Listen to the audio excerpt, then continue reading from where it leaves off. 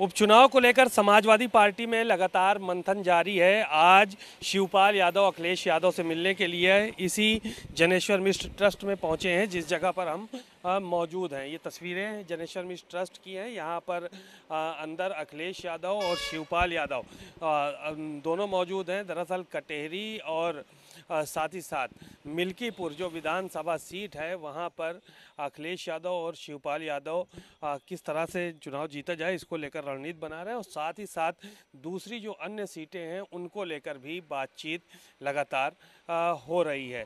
क्योंकि चुनाव धीरे धीरे नज़दीक आ रहे हैं और ऐसे में समाजवादी पार्टी ने भी इस बात का टास्क बना रखा है कि मैक्सिमम सीटों पर उपचुनाव में जीत हासिल करनी है।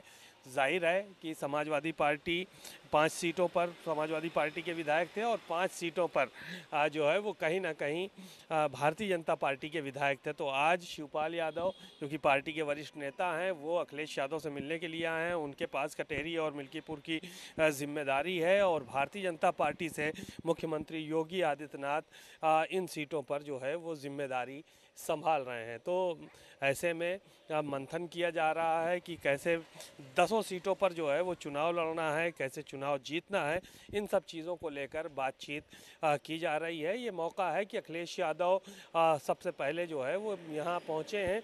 वो पार्टी कार्यालय, अब बाद में जाएँगे, कार्यकर्ताओं से बाद में मुलाकात करेंगे। पहले वो अपने चाचा और समाजवादी पार्टी के वरिष्ठ नेता शिवपाल यादव से मुलाकात कर रहे हैं और एक खाका तैयार किया जा रहा है कि कैसे चुनाव में आगे बढ़ना है और कैसे चुनाव जीतने हैं। कैमरामैन सनोज के साथ सीमा अब नकवी भारत समाचार लखनऊ।